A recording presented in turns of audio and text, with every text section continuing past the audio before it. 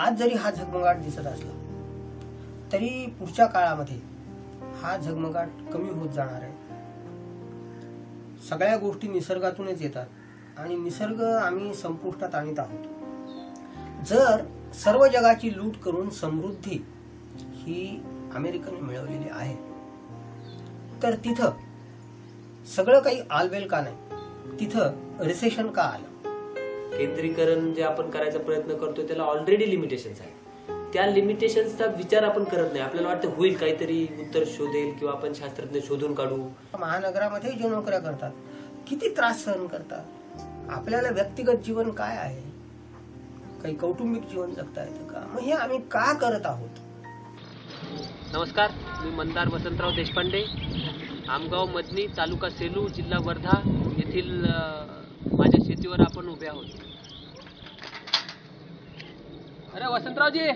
बाबा मला असं म्हटले की म्हणजे दहावी नंतर तू हे शिक्षण सोडून दे. सगळे मित्र शाळेत जात असताना आपण सोडून जायचं शिक्षण. तर विचित्र होतं. माझ्या डोक्यात कुठेतरी इंजिनिअरिंग होतं आणि मेकॅनिकल हा विषय आपल्या आवडीचा होता. इंजिनिअरिंगचे चार वर्ष आणि त्यानंतर जो एक कंटिन्युअस विचारांचा देवाणघेवाण हा प्रवाह घरात सुरू झाला. आपल्या हातातली जी व्यवस्था आहे ती कशी आपल्याला निर्माण करता येऊ शकेल? असा विचार करताना शेती हा विषय समोर आला. पण मी इंजिनियर झालो आणि मी शेती करू शकेल का? का किंवा मी शेती करावी का? हा प्रश्न खरं तर मला भेडसावत होता. शहरातच होतो आतापर्यंत आम्ही. क्वार्टर वगैरे होतं आम्हाला. तर गावात आल्यावर म्हणजे आपण कसं राहू? थोडी भीती होती मनामध्ये. मला आपले धीरेंद्रभाई सोनेजी धीरेंद्र स्मिता सोनेजी या दाम्पत्याविषयी माहिती काढली डायरेक्ट फील्डवर ट्रेनिंग घेणं जास्त योग्य राहील असं वाटल्याने मग धीरेंद्रबाईंकडे जायचं ठरलं. आणि त्यांचं म्हणजे शेती नसण्याचं ना आपलं शेती नसण्याचं बॅकग्राऊंड एकच असल्यामुळे तिथे जाऊन शिकूया असं मला जास्त वाटलं. आणि मग धीरेंद्रबाईला विचारलं त्यांनी आनंदाने सांगितले काही हरकत नाही तुम्ही येऊन राहू शकता. मला असं वाटतं की मी सध्या इथे चार वर्ष झाले आमगावमध्ये स्वावलंबनाचं गवसलेलं सूत्र मी माझ्या जमिनीत उभं करण्याचा प्रयत्न करतो. आपल्या एका कुटुंबाचं खाण्याचं सर्व प्रकारचं वर्षभरात जे आहे हे सगळं दीड दोन एकरमध्ये होऊ शकतं अशी खात्री पटली. आणि तसं मॉडेल मग आम्ही आता करण्याचं नियोजन केलेलं आहे. शेती अशी पाहिजे होती की गावाच्या जवळ कारण शेतावर मला राहायचं होतं. शेतावर राहिल्यानं त्याचं संरक्षण असो छोटे छोटे पीक असल्यामुळे त्यात काम करणं असो वेळेचा सदुपयोग असो ह्या सगळ्या गोष्टी खूप सोप्या होतात. हे घर करताना परत जर आपल्याला खूप लांबून या ह्याच्यासाठीचं मटेरियल आणावं लागत असेल तर तसं बेसिकली विचार करता ते घर परत पर्यावरणीय नाही होऊ शकत कारण त्यात एम्बेडेड एनर्जी येते पण. जाणीवपूर्वक ठरवलं की गावातले जे जुने लोक आहेत ज्यांना शेतीची जाणीव माहिती आहे अति पावसाच्या वेळेस म्हणा कमी पावसाच्या वेळेस म्हणा पेरणीच्या पद्धती म्हणा ह्या त्यांना अजून माहिती आहे.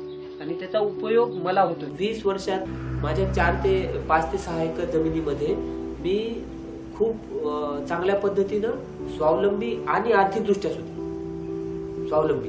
या दिशेनं एक चांगली मजल गाठलेली असेल. आणि एक उत्तम आनंदी जीवन मी जगत असेल. त्यासोबत एक वर्षाची पार्श्वभूमी माझ्या गावामध्ये किंवा आजूबाजूच्या माझ्या खेड्यामध्ये मी केलेली असेल. आणि ते समाजात एक उदाहरण ठरू शकेल. खूप वेळा मला असं वाटलं की यार काय करतोय आपण हे? सगळेजण तिथं मस्तपैकी जीवन जगतायत आणि चालू आहे त्यांचं. आणि मी काय करतोय? लग्नाविषयी लग्न हाच म्हणजे सहजीवन हा तसा अवघड विषय आहे.